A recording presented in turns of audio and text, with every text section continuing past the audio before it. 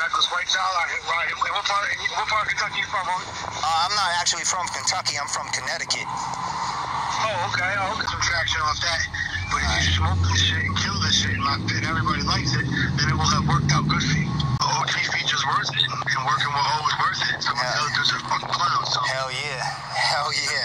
Yeah. that's where we're, that's where we're at with it.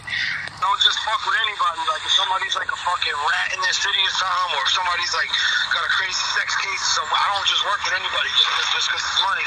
Yeah. It gotta be something I like. Like I don't want to be like white with know, white dudes dropping n bombs and shit. Nah, I don't do that. like That, that that's corny. That, that yeah, see, no, word up. Yeah. You're on the same page with me. So this this should be easy, and like I said, it'll do for you what you make it. You know.